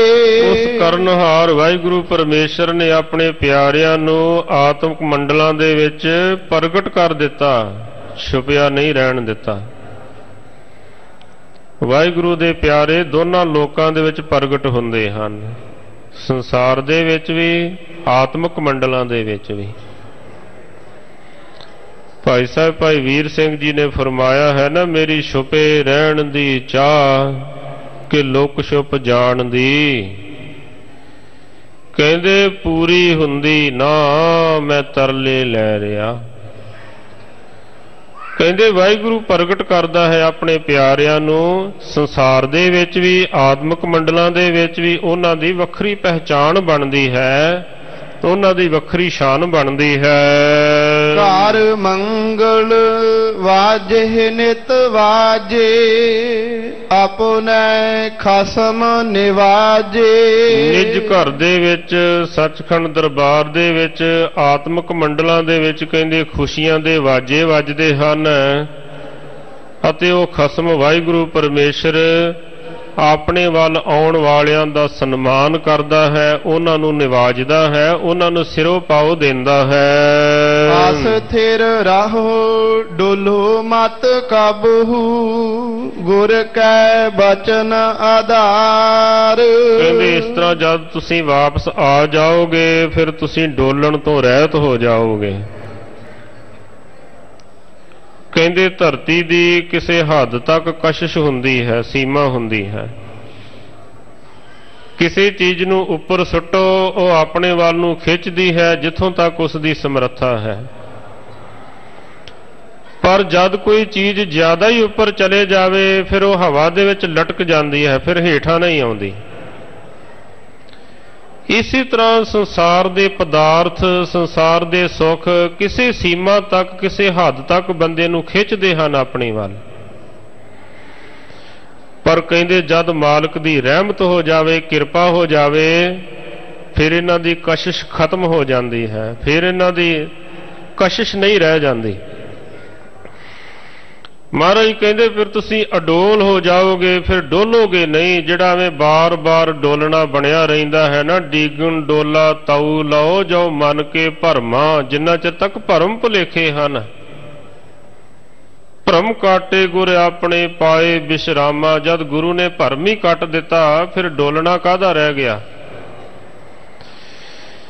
ਕਹਿੰਦੇ, ਨਸ ਭੱਜ ਕਰਨੀ ਵੀ ਜਿਹੜੀ ਹੈ ਨਾ, ਉਹ ਵੀ ਫਿਰ ਰਹਿ ਜਾਂਦੀ ਹੈ, ਥੱਕ ਜਾਂਦੀ ਹੈ। ਆਪਣੀ ਪਹਿਚਾਣ ਬਣਾਉਣ ਵਾਸਤੇ ਪਹਿਲਾਂ ਨਸ ਭੱਜ ਕਰਨੀ ਪੈਂਦੀ ਹੈ ਸੰਸਾਰ ਦੇ ਵਿੱਚ ਤੇ ਆਤਮਿਕ ਮੰਡਲਾਂ ਦੇ ਵਿੱਚ। ਇੱਕ ਵਾਰੀ ਕਹਿੰਦੇ, ਜਦ ਕਿਸੇ ਦੀ ਪਹਿਚਾਣ ਬਣ ਜਾਵੇ, ਫਿਰ ਦੌੜ ਭੱਜ ਨਹੀਂ ਰਹਿ ਜਾਂਦੀ। ਫੇਰ ਤਾਂ ਜਿਵੇਂ ਸਤਿਗੁਰਾਂ ਨੇ ਪਾਵਨ ਗੁਰਬਾਣੀ ਦੇ ਵਿੱਚ ਦੱਸਿਆ ਹੈ ਕਈ ਕੋਟ ਘਾਲੈ ਥਕ ਪਾਹੇ, ਕਈ ਕੋਟ ਬੈਠਤ ਹੀ ਖਾਹੇ। ਕਈਆਂ ਨੂੰ ਬੜੀ ਘਾਲਣਾ ਘਾਲਣੀ ਪੈਂਦੀ ਹੈ, ਪਰ ਜਿਨ੍ਹਾਂ ਦੇ ਭਾਗ ਵੱਡੇ ਹੁੰਦੇ ਹਨ ਆਰਾਮ-ਆਰਾਮ ਬੈਠੇ ਹੀ ਖਾਈ ਜਾਂਦੇ ਹਨ। ਕਹਿੰਦੇ, ਗੁਰਮੁਖਾਂ ਦੀ ਵੀ ਜਦ ਇੱਕ ਵਾਰੀ ਅਵਸਥਾ ਬਣ ਜਾਂਦੀ ਹੈ, ਫਿਰ ਉਹਨਾਂ ਦਾ ਡੋਲਣਾ ਨਹੀਂ ਰਹਿ ਜਾਂਦਾ, ਨਸ ਭੱਜ ਨਹੀਂ ਰਹਿ ਜਾਂਦੀ, ਬਹੁਤੀ ਮਿਹਨਤ ਕਰਨ ਦੀ ਜ਼ਰੂਰਤ ਨਹੀਂ ਰਹਿ ਜਾਂਦੀ। ਸਿਮਰਨ ਕਰਨਾ ਨਹੀਂ ਪੈਂਦਾ, ਆਪਣੇ ਆਪ ਹੋਣ ਲੱਗ ਪੈਂਦਾ ਹੈ। ਜਿੰਨਾ ਚਿਰ ਤੱਕ ਕਰਨਾ ਪਵੇ ਉਹਨਾਂ ਚਿਰ ਤੱਕ ਦੌੜ ਭੱਜ ਹੈ ਮੁਸ਼ਕਲ ਹੈ, ਮਿਹਨਤ ਹੈ। ਪਰ ਜਦ ਹੋਣ ਲੱਗ ਪਵੇ, ਫਿਰ ਘਾਲਣਾ ਕੋਈ ਨਹੀਂ ਰਹਿ ਜਾਂਦੀ। ਆਪਣੇ ਆਪ ਹੀ ਚੱਲ ਰਿਹਾ ਹੈ, ਜਿਵੇਂ ਸਵਾਸ ਚੱਲ ਰਹੇ ਹਨ, ਇਸੇ ਤਰ੍ਹਾਂ ਸਿਮਰਨ ਚੱਲ ਰਿਹਾ ਹੈ। ਨੱਸਣਾ, ਭੱਜਣਾ ਰਹਿ ਜਾਂਦਾ ਹੈ, ਦੌੜ ਭੱਜ ਮੁੱਕ ਜਾਂਦੀ ਹੈ। ਜੈ ਜੈਕਾਰ ਸਗਲ ਭੂ ਮੰਡਲ ਮੁਖ ਊਜਲ ਦਰਬਾਰ। ਕਹਿੰਦੇ ਐਸੇ ਗੁਰਮੁਖਾਂ ਦੀ ਸਾਰੇ ਆਤਮਿਕ ਮੰਡਲਾਂ ਦੇ ਵਿੱਚ ਵੀ ਜੈ ਜੈਕਾਰ ਹੁੰਦੀ ਹੈ ਅਤੇ ਕਹਿੰਦੇ ਸੰਸਾਰ ਦੇ ਵਿੱਚ ਵੀ ਭੂ ਮੰਡਲ ਦੇ ਵਿੱਚ ਵੀ ਜੈ ਜੈਕਾਰ ਹੁੰਦੀ ਹੈ, ਧਰਤੀ ਦੇ ਵਿੱਚ ਵੀ ਉਹਨਾਂ ਦੀ ਸੋਭਾ ਹੁੰਦੀ ਹੈ। ਕਿਉਂਕਿ ਸੱਚੇ ਮਾਰਗ ਚੱਲਦਿਆਂ ਉਸਤਤ ਕਰੇ ਜਹਾਨ, ਸੋਭਾ ਹੁੰਦੀ ਹੈ। ਫਿਰ ਕਹਿੰਦੇ ਮੁਖ ਉਜਲ ਦਰਬਾਰ, ਮਾਲਕ ਦੇ ਦਰਬਾਰ ਦੇ ਵਿੱਚ ਵੀ ਉਹਨਾਂ ਦਾ ਮੁਖ ਉਜਲਾ ਹੁੰਦਾ ਹੈ, ਜਿਨ੍ਹਾਂ ਨੇ ਨਾਮ ਸਿਮਰਨ ਕੀਤਾ, ਜਿਨ੍ਹਾਂ ਅਭਿਆਸ ਕੀਤਾ ਜਿਨਨੀ ਨਾਮ ਧਿਆਇਆ ਗਏ ਮਸਕਤ ਘਾਲ, ਨਾਨਕ ਤੇ ਮੁਖ ਉਜਲੇ, ਕੀਤੀ ਛੁੱਟੀ ਨਾਲ। ਉਹਨਾਂ ਦਾ ਵਾਹਿਗੁਰੂ ਦੇ ਦਰਬਾਰ ਦੇ ਵਿੱਚ ਵੀ ਮੁਖ ਉਜਲਾ ਹੁੰਦਾ ਹੈ ਭਾਵ ਮੁਖ ਤੇ ਔਗਣਾ ਦਾ ਕਿਸੇ ਤਰ੍ਹਾਂ ਦਾ ਕੋਈ ਦਾਗ ਨਹੀਂ ਰਹਿ ਜਾਂਦਾ। ਉਹ ਨਿਰਮਲ ਚਿਹਰੇ ਵਾਲੇ ਬਣ ਜਾਂਦੇ ਹਨ। ਜਿਨ ਕੇ ਜੀਉ ਤਿਨਹੀ ਫੇਰੇ ਆਪੇ ਭਇਆ ਸਹਾਈ। ਜਿਸ ਵਾਹਿਗੁਰੂ ਪਰਮੇਸ਼ਰ ਦੇ ਜੀਵ ਹਨ ਜਿਨ੍ਹਾਂ ਤੇ ਉਹ ਮਾਲਕ ਕਿਰਪਾ ਕਰਦਾ ਹੈ ਉਹਨਾਂ ਨੂੰ ਆਪਣੇ ਵੱਲ ਫਿਰ ਖਿੱਚਦਾ ਹੈ। ਆਪਣੇ ਵੱਲ ਪ੍ਰੇਰਦਾ ਹੈ ਆਪ ਹੀ ਰਹਿਮਤ ਕਰਦਾ ਹੈ। ਫਿਰ ਕਹਿੰਦੇ ਆਪ ਹੀ ਵਾਹਿਗੁਰੂ ਪਰਮੇਸ਼ਰ ਸਹਾਇਤਾ ਕਰਦਾ ਹੈ। ਆਚਰਜ ਕੀਆ ਕਰਨੈ ਹਾਰੈ ਨਾਨਕ ਸੱਚ ਵਡਿਆਈ। ਇਹ ਵੀ ਇੱਕ ਸੱਚੀ ਵਡਿਆਈ ਹੈ ਮਾਲਕ ਵਾਹਿਗੁਰੂ ਪਰਮੇਸ਼ਰ ਦੀ ਕਿ ਕਹਿੰਦੇ ਵਾਹਿਗੁਰੂ ਪਰਮੇਸ਼ਰ ਐਸੇ ਅਜੀਬੋ ਗਰੀਬ ਅਚਰਜ ਕੌਤਕ ਕਰਦਾ ਹੈ, ਜਿਨ੍ਹਾਂ ਤੇ ਉਸ ਦਾ ਤਰਸ ਪੈ ਜਾਂਦਾ ਹੈ, ਜਿਨ੍ਹਾਂ ਤੇ ਕਿਰਪਾ ਹੋ ਜਾਂਦੀ ਹੈ, ਉਹਨਾਂ ਨੂੰ ਫਿਰ ਆਪਣੇ ਵੱਲੋਂ ਖਿੱਚ ਪਾਉਣ ਲੱਗ ਪੈਂਦਾ ਹੈ। ਘਰਾਂ ਦੇ ਵਿੱਚ ਵੀ ਕਈ ਵਾਰੀ ਕਈ ਕਹਿ ਦਿੰਦੇ ਹਨ ਵੀ ਸਾਨੂੰ ਖਿੱਚ ਪੈਂਦੀ ਵੀ ਕਿਹੜਾ ਵੇਲਾ ਹੋਵੇ ਦਰਬਾਰ ਸਾਹਿਬ ਜਾਈਏ, ਮੱਥਾ ਟੇਕੀਏ, ਸੰਗਤ ਕਰੀਏ। ਗੁਰੂ ਰਾਮਦਾਸ ਜੀ ਖਿੱਚ ਪਾਉਂਦੇ ਹਨ ਆਪਣੇ ਆਪ ਹੀ। ਪਰਮਾਤਮਾ ਖਿੱਚ ਪਾਉਂਦਾ ਹੈ ਆਪਣੇ ਪਿਆਰਿਆਂ ਨੂੰ। ਕਹਿੰਦੇ, ਇਹ ਵੀ ਇੱਕ ਉਸ ਦੀ ਵਡਿਆਈ ਹੈ, ਇਹ ਵੀ ਉਸ ਦੀ ਇੱਕ ਸੋਭਾ ਹੈ। ਇਸ ਤਰ੍ਹਾਂ ਸਤਿਗੁਰੂ ਪਾਤਸ਼ਾਹ ਮਹਾਰਾਜ ਜੀ ਨੇ ਇਹ ਪਰਮਾਰਥੀ ਬਚਨ ਸਾਨੂੰ ਸਮਝਾਏ ਹਨ ਕਿ ਜਿਹੜੀਆਂ ਵੱਡੀਆਂ ਅਟਕਾਂ ਹਨ, ਉਹ ਗੁਰੂ ਹੀ ਦੂਰ ਕਰ ਸਕਦਾ ਹੈ, ਪਰਮਾਤਮਾ ਹੀ ਦੂਰ ਕਰ ਸਕਦਾ ਹੈ। ਉਸ ਦੀ ਅੱਗੇ ਅਰਦਾਸ ਕਰਨੀ ਚਾਹੀਦੀ ਹੈ। ਆਓ ਸਾਧ ਸੰਗਤ ਜੀ ਜੋ ਲੜੀਵਾਰ ਪਾਵਨ ਫਰਮਾਨ ਹੈ ਉਸ ਦੇ ਵੀ ਅਖਰੀ ਅਰਥ ਜੋ ਹਨ ਆਪਾਂ ਵਿਚਾਰ ਨਾ ਕਰੀਏ ਜੀ। ਸੂਹੀ ਮਹੱਲਾ ਪੰਜਵਾ, ਕਿਆ ਗੁਣ ਤੇਰੇ ਸਾਰ ਸਮਾਲੀ ਮੋਹਿ ਨਿਰਗੁਣ ਕੇ ਦਾਤਾਰੇ। ਧੰਨ ਸ੍ਰੀ ਗੁਰੂ ਅਰਜਨ ਦੇਵ ਮਹਾਰਾਜ, ਸੱਚੇ ਪਾਤਸ਼ਾਹ ਜੀ ਫਰਮਾਉਂਦੇ ਹਨ, ਸੋਹੀ ਰਾਗ ਅੰਦਰ, ਕਿ हे ਵਾਹਿਗੁਰੂ ਪਰਮੇਸ਼ਰ ਦੀ, ਮੈਂ ਔਗਣਾ ਦਾ ਭਰਿਆ ਹੋਇਆ ਹਾਂ, ਜਗਿਆਸੂ ਰੂਪ ਹੋ ਕੇ ਬਚਨ ਕਰਦੇ ਹਨ, ਸਾਡੀ ਤਰਫੋਂ।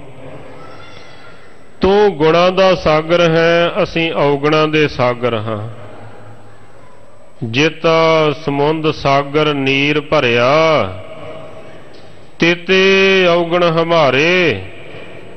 ਦਇਆ ਕਰੋ ਕਿਛ ਮੇਰੋ ਪਾਵੋ, ਡੁੱਬਦੇ ਪੱਥਰ ਤਾਰੇ। ਲਿਖੇ ਕਤੇ ਨਾ ਛੂਟੀਐ, ਖਿਨ ਖਿਨ ਭੂਲਣ ਹਾਰ, ਬਖਸ਼ਣ ਹਾਰ, ਬਖਸ਼ ਲੈ ਨਾਨਕ ਪਾਰ ਉਤਾਰ ਪਰ हे ਵਾਹਿਗੁਰੂ ਜੀ, ਤੇਰੇ ਗੁਣ ਜਿਹੜੇ ਹਨ, ਉਹਨਾਂ ਨੂੰ ਮੈਂ ਕਿਵੇਂ ਬਿਆਨ ਕਰਾਂ, ਕਿਵੇਂ ਉਹਨਾਂ ਨੂੰ ਸੰਭਾਲ ਕੇ ਯਾਦ ਕਰਾਂ, ਕਿਵੇਂ ਚੇਤੇ ਕਰਾਂ, ਗੁਣ ਬਹੁਤ ਜ਼ਿਆਦਾ ਹਨ। ਇੱਕ ਜਗ੍ਹਾ ਮਹਾਰਾਜ ਜੀ ਫਰਮਾਉਂਦੇ ਹਨ, ਲਾਖ ਜਿਹਵਾ ਦੇਹੋ ਮੇਰੇ ਪਿਆਰੇ ਮੁਖ ਹਾਰਾ ਰਾਧੇ ਮੇਰਾ RAM ਇੱਕ ਰਸਨਾ ਦੇ ਨਾਲ ਨਹੀਂ ਗੱਲ ਬਣਦੀ, ਲੱਖਾਂ ਹੀ ਲਾ ਦਿਓ। ਕਹਿੰਦੇ ਗੁਣ ਬਹੁਤ ਜ਼ਿਆਦਾ ਹਨ। ਸ੍ਰੀ ਜਾਪ ਸਾਹਿਬ ਜੀ ਦੀ ਬਾਣੀ ਪੜ੍ਹੀਏ, ਦਸਵੇਂ ਪਾਤਸ਼ਾਹ ਸ੍ਰੀ ਗੁਰੂ ਗੋਬਿੰਦ ਸਿੰਘ ਮਹਾਰਾਜ ਜੀ ਨੇ ਪਰਮਾਤਮਾ ਦੇ ਕਿੰਨੇ ਗੁਣਾਂ ਦਾ ਜ਼ਿਕਰ ਕੀਤਾ ਹੈ। ਕਿ ਹੁਸਨੁਲ ਜਮਾਲ ਹੈ, ਕਿ ਸਾਹਿਬ ਕਮਾਲ ਹੈ, ਗਨੀਮੁਲ ਖਿਰਾਜ ਹੈ, ਗਰੀਬੁਲ ਨਿਵਾਜ ਹੈ। ਕਿਧਰੇ ਗਰੀਬਾਂ ਨੂੰ ਨਿਵਾਜਦਾ ਹੈ, ਕਿਧਰੇ ਰੋਜੀ ਦਿਹੰਦ ਹੈ, ਕਿ ਰਾਜ ਕਰਹਿੰਦ ਹੈ। ਕਿੰਨੇ ਗੁਣਾਂ ਦਾ ਜ਼ਿਕਰ ਕੀਤਾ ਹੈ। ਸਾਰੇ ਗੁਣਾਂ ਦਾ ਵਰਣਨ ਨਹੀਂ ਆਪਾਂ ਕਰ ਸਕਦੇ। ਇੱਕ ਗੱਲ ਜ਼ਰੂਰ ਹੈ, ਜੋ ਸਤਿਗੁਰਾਂ ਨੇ ਪਾਵਨ ਗੁਰਬਾਣੀ ਦੇ ਵਿੱਚ ਦਰਸਾਇਆ ਹੈ ਕਿ ਗੁਣ ਗਾਉਂਦਿਆਂ ਗਾਉਂਦਿਆਂ, ਗੁਣ ਗਾਉਂਦਿਆਂ ਗਾਉਂਦਿਆਂ, ਗੁਣ ਗਾਉਣ ਵਾਲੇ ਜਿਹੜੇ ਹੁੰਦੇ ਹਨ, ਉਸ ਗੁਣੀ ਨਿਧਾਨ ਦੇ ਵਿੱਚ ਸਮਾ ਜਾਂਦੇ ਹਨ, ਲੀਨ ਹੋ ਜਾਂਦੇ ਹਨ। ਗੁਣ ਕਹਿ, ਗੁਣੀ ਸਮਾਵਣਿਆ। ਕਹਿੰਦੇ, ਹੈ ਮੇਰੇ ਨਿਰਗੁਣ ਹਾਰੇ ਦੇ ਦਾਤਾਰ, ਵਾਹਿਗੁਰੂ ਪਰਮੇਸ਼ਰ ਜੀ, ਮੈਂ ਤੇਰੇ ਕਿੰਨੇ ਕੁ ਗੁਣਾਂ ਦਾ ਵਰਣਨ ਕਰਾਂ, ਗੁਣ ਤੇਰੇ ਅਨੰਤ ਹਨ। ਤੇਰੇ ਸਾਰੇ ਗੁਣਾਂ ਦਾ ਮੈਂ ਵਰਣਨ ਨਹੀਂ ਕਰ ਸਕਦਾ ਜੀ। ਮੈਂ ਖਰੀਦ ਕਿਆ ਕਰੇ ਚਤੁਰਾਈ ਇਹੋ ਜਿਉ ਪਿੰਡ ਸਭ ਥਾਰੇ। ਕਹਿੰਦੇ ਜਿਹੜਾ ਸਧਾਰਨ ਹੈ ਜਿਹੜਾ ਹੋਰ ਨੌਕਰੀ ਆਦਿਕ ਕਰਨ ਵਾਲਾ ਹੈ ਉਹ ਤਾਂ ਨਖਰੇ ਕਰ ਸਕਦਾ ਹੈ ਪਰ ਜਿਸ ਨੂੰ ਮੁੱਲ ਹੀ ਖਰੀਦ ਲਿਆ ਹੈ ਮਾਲਕ ਨੇ ਉਹ ਨਖਰੇ ਨਹੀਂ ਵਿਖਾ ਸਕਦਾ। ਉਹ ਤਾਂ ਜਿਹੜੀ ਕਾਰ ਦੇ ਵਿੱਚ ਮਾਲਕ ਨੇ ਲਾ ਦਿੱਤਾ, ਚੁੱਪ ਕਰਕੇ ਫਿਰ ਉਹ ਕਾਰ ਨੂੰ ਕਰੀ ਜਾਂਦਾ ਹੈ। ਮੁੱਲ ਖਰੀਦੀ, ਲਾਲਾ ਗੋਲਾ, ਮੇਰਾ ਨਾਉ ਸੁਭਾਗਾ, ਗੁਰ ਕੀ ਬਚਨੀ ਹਾਟ ਬਿਕਾਨਾ, ਜਿਤ ਲਾਇਆ, ਤਿਤ ਲਾਗਾ। ਤੇਰੇ ਲਾਲੇ ਕਿਆ ਚਤਰਾਈ, ਸਾਹਿਬ ਕਾ ਹੁਕਮ ਨਾ ਕਰਨਾ ਜਾਈ। ਮਹਾਰਾਜ, ਮੈਂ ਚਤਰਾਈ ਨਹੀਂ ਕਰ ਸਕਦਾ। ਇਸ ਤਰ੍ਹਾਂ ਟਿਕ ਜਾਂਦੇ ਹਨ ਗੁਰਮੁਖ, ਜਿਹੜੇ ਖਾਲੀ ਭਾਂਡੇ ਹੁੰਦੇ ਹਨ, ਉਹ ਫਿਰ ਚਲਾਕੀਆਂ ਕਰਦੇ ਹਨ, ਚਤਰਾਈਆਂ ਕਰਦੇ ਹਨ। ਕਹੋ ਕਬੀਰ, ਛੂਛਾ ਘਟ ਬੋਲੇ, ਭਰਿਆ ਹੋਏ ਸੋ ਕਬੋ ਨਾ ਡੋਲੇ। ਉਹ ਟਿਕ ਕੇ ਫਿਰ ਜਿਹੜੀ ਕਾਰੇ ਮਾਲਕ ਨੇ ਲਾਇਆ ਹੁੰਦਾ, ਉਹ ਕਾਰ ਕਰਦੇ ਰਹਿੰਦੇ ਹਨ। ਹੇ ਵਾਹਿਗੁਰੂ ਜੀ, ਮੈਂ ਚਤਰਾਈ ਨਹੀਂ ਕਰ ਸਕਦਾ। ਇਹ ਜੀਵਨ, ਇਹ ਸਰੀਰ ਸਾਰਾ ਕੁਝ ਤੁਹਾਡਾ ਹੀ ਬਖਸ਼ਿਸ਼ ਕੀਤਾ ਹੋਇਆ ਹੈ ਜਦ ਕਿਸੇ ਨੂੰ ਇਸ ਗੱਲ ਦਾ ਗਿਆਨ ਹੋ ਜਾਵੇ।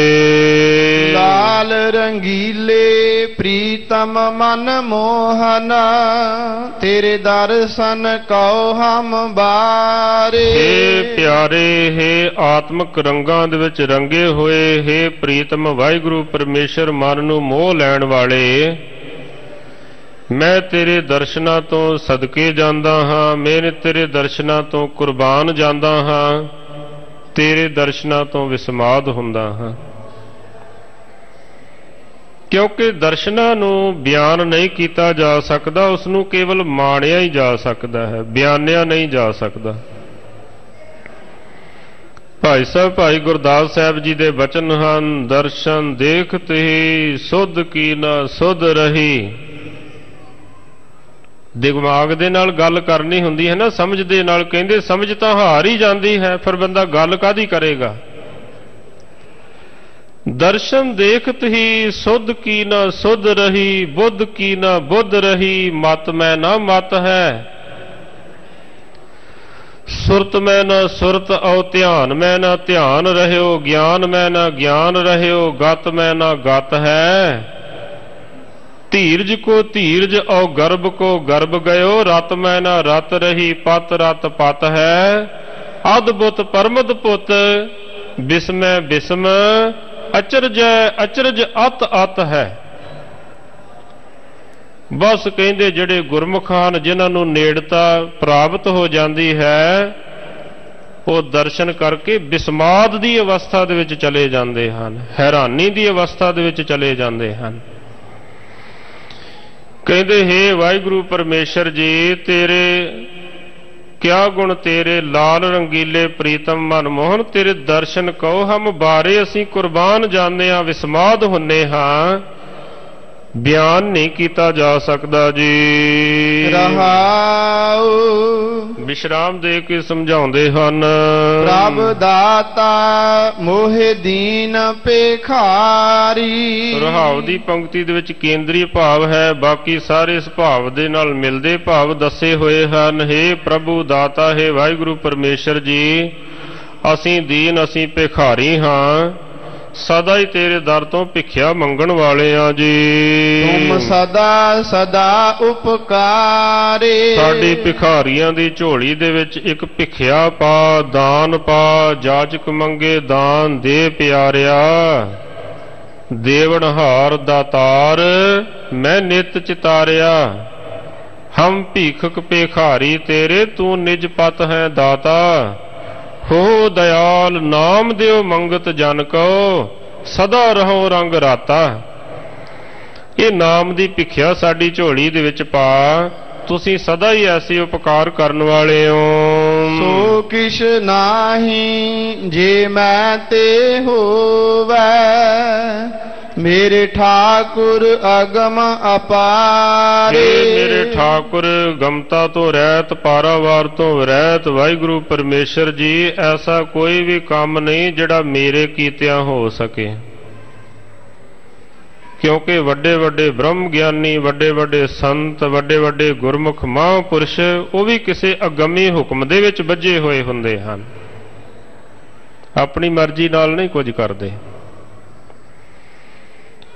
ਸੰਤ ਬਾਬਾ ਰਤਨ ਸਿੰਘ ਜੀ ਦਾ ਜ਼ਿਕਰ ਆਉਂਦਾ ਹੈ। ਸੰਤ ਮਿਸ਼ਰਾ ਸਿੰਘ ਜੀ ਦੇ ਅਸਥਾਨ ਦੇ ਇਹ ਮਹਾਂਪੁਰਸ਼ ਹੋਏ ਹਨ। ਕਿਸੇ ਗੁਰਮੁਖ ਪਿਆਰੇ ਨੇ ਬੁਲਾਇਆ ਘਰ ਦੇ ਵਿੱਚ ਵੀ ਬੱਚੇ ਦੀ ਅਰਦਾਸ ਕਰੋ। ਜਿਸ ਨੇ ਬੁਲਾਇਆ ਸੀ ਉਸ ਦੀ ਤਾਂ ਅਰਦਾਸ ਕੀਤੀ ਨਾ, ਜਿਹੜਾ ਉਸ ਦਾ ਭਰਾ ਸੀ ਨਾ ਉਸ ਦੇ ਘਰ ਬੱਚੇ ਵਾਸਤੇ ਅਰਦਾਸ ਕਰ ਦਿੱਤੀ। ਅਖੀਰ ਦੇ ਵਿੱਚ ਆਖਣ ਲੱਗੇ, ਸਾਡੇ ਵੱਸ ਦੀ ਕੋਈ ਗੱਲ ਨਹੀਂ ਹੈ। ਜੇ ਮੇਰੇ ਵੱਸ ਦੀ ਗੱਲ ਹੁੰਦੀ, ਮੈਂ ਉਸੇ ਤਰ੍ਹਾਂ ਹੀ ਬੋਲਦਾ। ਪਰ ਜਿਵੇਂ ਮਾਲਕ ਦੇ ਕੋਲੋਂ ਬੁਲਾਇਆ ਜਾ ਰਿਹਾ ਹੈ, ਅਸੀਂ ਉਂਝ ਹੀ ਬੋਲਦੇ ਹਾਂ, ਆਪਣੀ ਮਰਜ਼ੀ ਨਾਲ ਨਹੀਂ ਬੋਲ ਸਕਦੇ। ਆਖਣ ਲੱਗੇ, ਸਤਿਗੁਰੂ ਪਾਤਸ਼ਾਹ ਜੀ ਸਮਝਾਉਂਦੇ ਹਨ ਕਿ हे ਵਾਹਿਗੁਰੂ ਜੀ, ਮੇਰੇ ਕੀਤਿਆਂ ਕੁਝ ਨਹੀਂ ਹੁੰਦਾ। ਜੋ ਤੁਸੀਂ ਕਰਵਾਉਣਾ ਚਾਹੁੰਦੇ ਹੋ ਉਹੀ ਸੇਵਾ ਮੇਰੇ ਕੋਲੋਂ ਤੁਸੀਂ ਲੈਂਦੇ ਹੋ ਜੀ। ਕਿਆ ਸੇਵ ਕਮਾਵੋ ਕਿਆ ਕਹਿਰੀ ਚਾਵੋ ਬਿਦ ਕਿਤ ਪਾਵੋ ਦਰਸਾਰੇ। ਮੈਂ ਕਿਹੜੀ ਸੇਵਾ ਕਰਾਂ? ਕਿਹੜੀ ਘਾਲਣਾ ਘਾਲਾਂ, ਕਿਹੜੇ ਤਰੀਕੇ ਦੇ ਨਾਲ ਤੁਹਾਨੂੰ ਰਜਾਵਾਂ ਤੁਸੀਂ ਆਪ ਹੀ ਜੁਗਤੀ ਦੱਸੋ, ਆਪ ਹੀ ਸਮਝਾਓ, ਕਿਹੜੇ ਤਰੀਕੇ ਦੇ ਨਾਲ ਤੁਹਾਡਾ ਦੀਦਾਰ ਪ੍ਰਾਪਤ ਹੋਵੇ? ਮਿਤ ਨਹੀਂ ਪਾਈਐ, ਅੰਤ ਨਾ ਲਹੀਐ। ਮਨ ਤਰਸੈ ਚਰਨਾਰੇ। ਤੁਹਾਡੀ ਰਹਿਮਤ ਨੂੰ ਕਿਸੇ ਪੈਮਾਨੇ ਨਾਲ ਮਿਲਿਆ ਨਹੀਂ ਜਾ ਸਕਦਾ, ਤੁਹਾਡਾ ਕਿਸੇ ਤਰੀਕੇ ਦੇ ਨਾਲ ਅੰਤ ਨਹੀਂ ਪਾਇਆ ਜਾ ਸਕਦਾ, ਗਹਿਰਾਈ ਦਾ।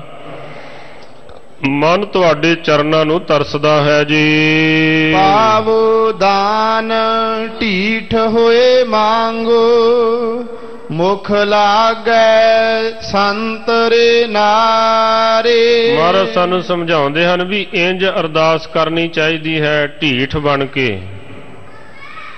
ਜਿਵੇਂ ਮੰਗਤਾ ਹੁੰਦਾ ਹੈ ਨਾ ਦਰਵਾਜ਼ੇ ਦੇ ਵਿੱਚ ਆ ਕੇ ਖਲੋਤਾ ਰਹਿੰਦਾ ਹੈ ਖਲੋਤਾ ਰਹਿੰਦਾ ਹੈ ਮੰਗੀ ਜਾਂਦਾ ਹੈ ਮੰਗੀ ਜਾਂਦਾ ਹੈ। ਮਾਲਕ ਘਰ ਵਾਲਾ ਕੋਈ ਨਾ ਕੋਈ ਤਰਸ ਪਾ ਕਰਕੇ ਉਸ ਦੀ ਚਿੱਪੀ ਦੇ ਵਿੱਚ ਉਸ ਦੀ ਝੋਲੀ ਵਿੱਚ ਪਾਵੇਗਾ ਹੀ ਨਾ। ਕਹਿੰਦੇ ਇਸ ਤਰ੍ਹਾਂ ਢੀਠ ਬਣ ਕੇ ਮੰਗਣਾ ਚਾਹੀਦਾ ਹੈ। ਕੀ ਦਾਤ ਮੰਗਣੀ ਚਾਹੀਦੀ ਹੈ ਕਿ हे ਵਾਹਿਗੁਰੂ ਜੀ, ਮੈਂ ਢੀਠ ਬਣ ਕੇ ਇੱਕ ਦਾਤ ਮੰਗਦਾ ਹਾਂ। ਕਿਹੜੀ ਦਾਤ? ਕਹਿੰਦੇ ਮੁਖ ਲਾਗੈ ਸੰਤ ਰੇ ਨਾਰੇ। ਜਿਹੜੇ ਤੇਰੇ ਪਿਆਰੇ ਸੰਤ ਹਨ, ਗੁਰਮੁਖ ਹਨ, ਪੁੱਗੀਆਂ ਆਤਮਾਵਾਂ ਹਨ, ਪਵਿੱਤਰ ਆਤਮਾਵਾਂ ਹਨ, ਉਹਨਾਂ ਦੀ ਚਰਨ ਧੂੜ ਮੇਰੇ ਮੱਥੇ ਤੇ ਲੱਗ ਜਾਵੇ। ਮੇਰਾ ਜੀਵਨ ਵੀ ਸਫਲਾ ਹੋ ਜਾਵੇ। ਐਸੀ ਦਾਤ ਮੰਗਣ ਦੀ ਸਾਨੂੰ ਸਮਝਾਉਂਦੇ ਹਨ ਸਤਿਗੁਰੂ ਪਾਤਸ਼ਾਹ ਜੀ। ਕਿਰਪਾ ਕਰੋ, ਰਹਿਮਤ ਕਰੋ, ਐਸੀ ਦਾਤ ਸਾਨੂੰ ਮਿਲ ਜਾਵੇ। ਨਖ ਸਿੱਖ ਲਓ, ਸਗ ਲੰਗ, ਰੋਮ ਰੋਮ, ਕਾਟ ਕਾਟ ਸਿੱਖਨ ਕੇ ਚਰਨ ਪਰ ਵਾਰੀਐ।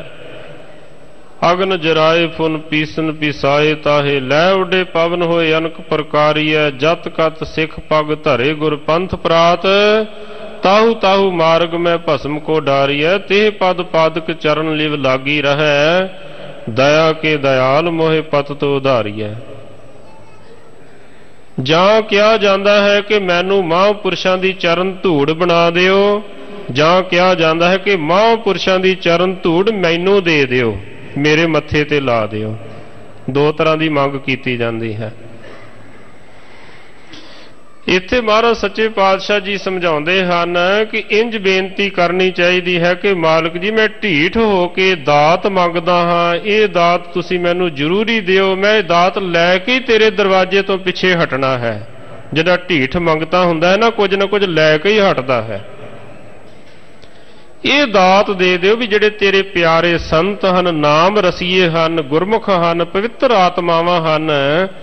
ਉਹਨਾਂ ਦੀ ਚਰਨ ਧੂੜ ਮੇਰੇ ਮੱਥੇ ਤੇ ਲੱਗ ਜਾਵੇ ਜੀ। ਜਨ ਨਾਨਕ ਕਉ ਗੁਰ ਕਿਰਪਾ ਧਾਰੀ ਪ੍ਰਭ ਹਾਥ ਦੇ ਨਿਸਤਾਰੇ ਸਤਿਗੁਰੂ ਪਾਤਸ਼ਾਹ ਗੁਰੂ ਅਰਜਨ ਦੇਵ ਮਹਾਰਾਜ ਜੀ ਗੁਰੂ ਨਾਨਕ ਸਾਹਿਬ ਮੋਹਰ ਛਾਪ ਹੇਠ ਫਰਮਾਉਂਦੇ ਹਨ ਕਿ ਜਿਨ੍ਹਾਂ ਤੇ ਮਾਲਕ ਕਿਰਪਾ ਕਰ ਦਿੰਦੇ ਹਨ, ਰਹਿਮਤ ਕਰ ਦਿੰਦੇ ਹਨ, ਉਹਨਾਂ ਨੂੰ ਫਿਰ ਆਪ ਹੀ ਹੱਥ ਦੇ ਕੇ ਸੰਸਾਰ ਸਾਗਰ ਤੋਂ ਉਹਨਾਂ ਦਾ ਨਿਸਤਾਰਾ ਕਰਾ ਦਿੰਦੇ ਹਨ, ਉਹਨਾਂ ਦਾ ਪਾਰ ਉਤਾਰਾ ਕਰਵਾ ਦਿੰਦੇ ਹਨ। ਸੋ ਸਾਧ ਸੰਗਤ ਜੀ, ਇਸ ਪਾਵਨ ਸ਼ਬਦ ਦੇ ਵਿੱਚ ਦਰਸ਼ਨਾਂ ਦੀ ਪਿਆਸ ਦਾ ਜ਼ਿਕਰ ਕੀਤਾ ਗਿਆ ਹੈ ਅਤੇ ਜਿਹੜੇ ਗੁਰਮੁਖ ਨਾਮ ਰਸੀਏ ਹਨ, ਉਹਨਾਂ ਦੀ ਚਰਨ ਧੂੜ ਮੰਗਣ ਦੀ ਸਾਨੂੰ ਜਾਚ ਦਸੀ ਗਈ ਹੈ। ਕਿ ਢੀਠ ਬਣ ਕੇ ਮੰਗਣੀ ਚਾਹੀਦੀ ਹੈ ਦਾਤ। ਸਤਿਗੁਰੂ ਪਾਤਸ਼ਾਹ ਕਿਰਪਾ ਕਰਨ, ਇਹ ਅਮੋਲਕ ਦਾਤਾਂ ਹਨ। ਤੁਲਸੀ ਜੀ ਦੇ ਬਚਨ ਹਨ, ਧਨ ਪਦਾਰਥ ਅਰ ਲక్ష్ਮੀ ਮੂਰਖ ਕੇ ਵੀ ਹੋ। ਕਹਿੰਦੇ ਪੈਸਾ ਤਾਂ ਮੂਰਖਾਂ ਨੂੰ ਵੀ ਮਿਲ ਜਾਂਦਾ ਹੈ। ਪਰ ਉਹਨਾਂ ਨੇ ਦੱਸਿਆ ਹੈ, ਹਰੀ ਭਗਤ ਅਰ ਸਾਧ ਸੰਗਤ, ਤੁਲਸੀ ਜਗ ਮੈਂ ਦੋ ਵਾਹਿਗੁਰੂ ਦੀ ਭਗਤੀ ਕਰਨੀ ਅਤੇ ਪੁੱਗੀਆਂ ਆਤਮਾਵਾਂ ਦੀ ਸੰਗਤ ਕਰਨੀ ਇਹ ਕਿਸੇ ਭਾਗਾਂ ਵਾਲੇ ਨੂੰ ਨਸੀਬ ਹੁੰਦਾ ਹੈ। ਸਤਿਗੁਰ ਕਿਰਪਾ ਕਰਨ, ਗੁਰਮੁਖਾਂ ਦੀ ਸੰਗਤ ਮਿਲੇ, ਭਗਤੀ ਦੀ ਸਾਰਿਆਂ ਨੂੰ ਦਾਤ ਮਿਲੇ। ਸਮੂਹ ਸੰਗਤ ਤੇ ਸਤਿਗੁਰੂ ਜੀ ਐਸੀ ਰਹਿਮਤ ਕਰਨ, ਕਿਰਪਾ ਕਰਨ। ਸਾਧ ਸੰਗਤ ਜੀ ਅੰਮ੍ਰਿਤ ਛਕੋ, ਸਿੰਘ ਸੱਜੋ, ਨਾਮ ਬਾਣੀ ਦੇ ਨਾਲ ਜੁੜੋ, ਤਾਂ ਕਿ ਲੋਕ ਸੁਖੀ ਪਰਲੋਕ ਸੁਹੇਲੇ ਹੋਵਣ। ਸਮੂਹ ਸੰਗਤ ਦਾ ਸਮੁੱਚੇ ਪ੍ਰਬੰਧਕ ਜਨਾਂ ਦਾ ਬਹੁਤ ਬਹੁਤ ਹਾਰਦਿਕ ਧੰਨਵਾਦ। ਆਓ ਸਾਧ ਸੰਗਤ ਜੀ, ਭੁੱਲਾਂ ਚੁੱਕਾਂ ਦੀ ਖਿਮਾ, ਅਖੀਰਲੀਆਂ ਪੰਕਤੀਆਂ ਸਰਵਣ ਕਰੀਏ ਜੀ। ਪਾਵੋ ਦਾਨ ਢੀਠ ਹੋਏ ਮੰਗੋ, ਮੁਖ ਲਾਗੈ ਸੰਤਰੇ ਨਾਰੇ। ਜਨ ਨਾਨਕ ਕਉ ਗੁਰ ਕਿਰਪਾ ਤਾਰੀ ਪ੍ਰਭ ਹਾਥ ਦੇ ਨਿਸਤਾਰੇ। ਵਾਹਿਗੁਰੂ ਜੀ ਕਾ ਖਾਲਸਾ। ਵਾਹਿਗੁਰੂ ਜੀ ਕੀ ਫਤਿਹ।